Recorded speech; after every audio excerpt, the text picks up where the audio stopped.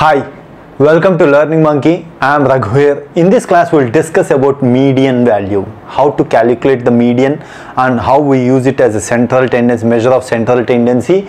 In our previous classes, we clearly discussed about symmetric and asymmetric distributions. Please watch those classes and come back here. The link for the playlist is uh, provided in the description below. Coming to today's uh, class, uh, we'll understand how to calculate the median value. So with an example, we go with an example. If you take the first example, given this is the data set uh, 25, 20, 15, 35, 18, these are the values that are provided. So how to find the median value? So arrange these elements in the sorted order in ascending or descending order. After arranging these elements 15, 18, 20, 25, 35, pick the middle one. That is what we call it as median value. So median is equal to middle value. Here we are having odd number of data points. That's why we have easily uh, picked the middle value. That's why. But what happens if you take the if your data consists of even values? Uh, let's take an example.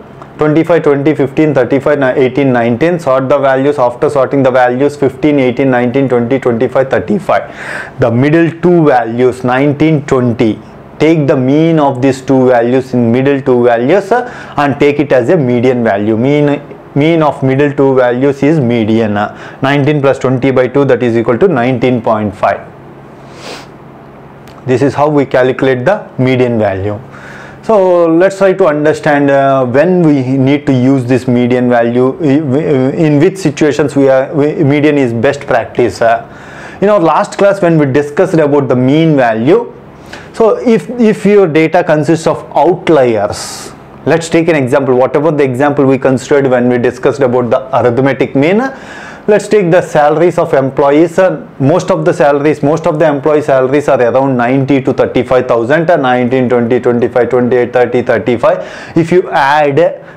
CEO salary to this employee salary also. CEO salary is 250.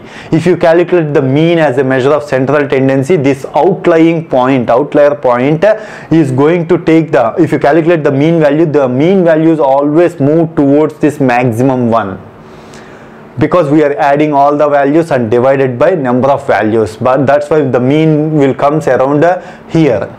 We are not getting exact central value. In this type of situations whenever there are outliers uh, we can calculate the median we can take median as our central tendency this is one of the situation. And next one is if you are having the skewed data. In our last class we discussed about right and left skewed uh, data. Go with median value. Whenever you are having skewed data go with the median value. Let's try to understand with an example. This is uh, the example which we considered yearly income uh, of our population and the frequencies are provided. Assume that these are thousand uh, on thousand population uh, we have taken this data set. So most of the population comes here so on 1000 population, if you are taking this data set, uh, you, you have to take the central tendency means uh, 500. 500 uh, population should be on the left, 500 population on the right. That is what the measure of central tendency means. uh. But if you calculate the mean value here, because as the income is increasing, the our mean value is moved towards this uh, highest income but if you take the median value we will arrange them in the ascending order pick the middle one. Exactly we will get the half of them to the other side and half to the this side uh, right side uh. that's why median is best practice if you are having the skewed data.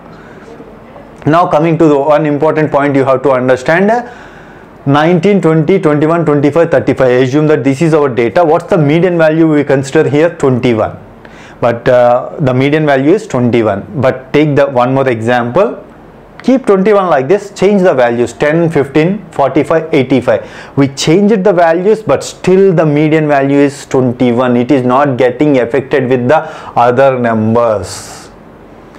But in your application if you need the central tendency value based on uh, it should be get affected based on the remaining values also then median is not the best practice to go to take it as a central tendency okay this is the point important point you have to understand so this is all about median how to calculate the median if the frequencies are given continuous frequencies are given that we are going to discuss in our next classes hope you understand the concept of median If you have any questions regarding the concept, please post your questions in the comment section below. Thanks for watching.